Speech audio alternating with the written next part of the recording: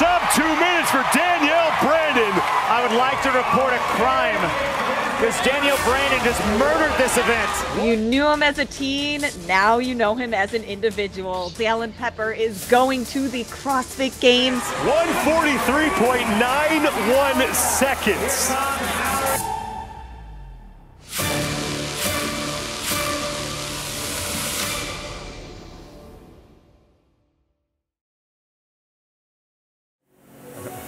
So right now, they leave in a week. A little bit of intensity is okay, but we don't need to mix intensity and a ton of volume right now. They're really not gonna get any fitter, right? Being smart with intensity and being smart with volume is vital right now. You ready to get judged? Okay, good. All right, let's do it.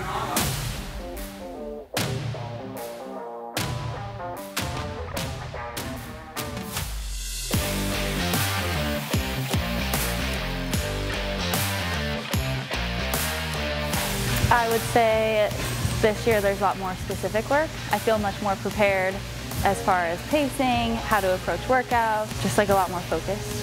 A successful trip would be be steady um, and consistent emotionally and physically. Specifically, I look forward to like swimming and the longer events. My mental game has improved a lot since last year. I feel a lot more confident going into workouts and just feel more prepared.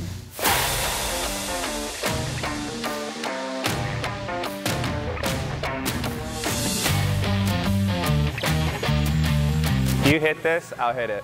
No warm up. You feel bad for me? You should have seen my jumps when I was actually working out. I would just jump up by 90 pounds every time so I got to 315. I only did that once ever, and then it ended my career. Two minute ski at an aerobic pace. The aerobic pace is not going to be something that is super easy, uh, but it shouldn't get them into an anaerobic state, right? So a presence of uh, without oxygen, right? We can only hold that for so long, then it gets really bad. From there, we're gonna have someone front rack yoke carry. The front rack yoke carry, it's pretty tough on the upper back, so it forces you to uh, hold a really good position on that. One person's going to be doing handstand walk on the obstacle course that you'll see them starting to pull down here. Danielle, really good on her hands, really good on the handstand course. That's not something I really need to see from her. So we're going to give her more uh, skill development work and strength work with a strict knees to elbow. And they're going to do that six times. We'll go uh, yoke or ramp on this side and then yoke a ramp on this way, and I'll take off. I'll take it on and off for you. Add a sandbag in the middle of the two of them. Really? Okay. Put them both over right there. That's true. That seems like it's easier to move. This is a great idea. So while she's doing that, you could be here, and then we'll flip flop when you're there. She'll be here.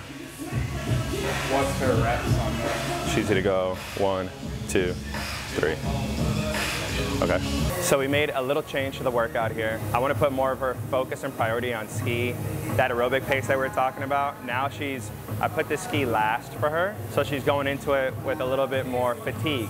Trunk fatigue from holding that yoke, and from going into that uh, knees to elbow as well. Where Dallin, the change we made with him is I want him going fresh into this handstand walk because it's a high skill handstand walk. So he's starting with that every time, and then he's going ski, and then he's going into uh, the yoke carry. So this is much better. I like it.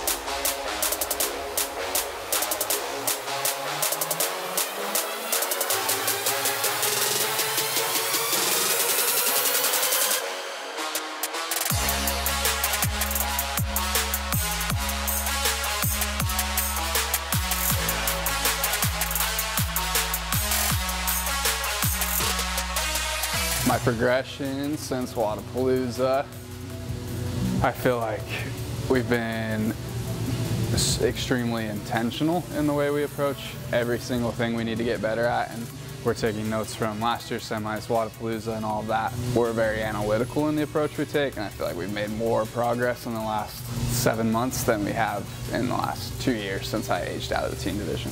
I'm excited for a big gymnastics test, uh, just because I'm a bigger athlete. I'm excited for a big running event. We got a running event at semifinals but not like a pure running event where I really want to see where I stack up and how much progress I've made there. And there's really cool styles they can do at the games with running. I feel like I can compete with anyone at the CrossFit Games. I belong there just as much as them. Number one goal is top 10. Number two goal, learn as much as I can to take into next season for the next year and find as many data points as we can.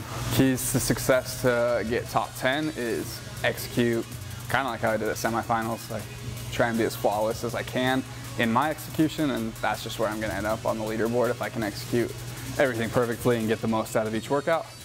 That'll put me in the best place to reach that goal and then being present and aware of what's going on throughout the entire competition on and off the floor will help me learn what we need to do for next year.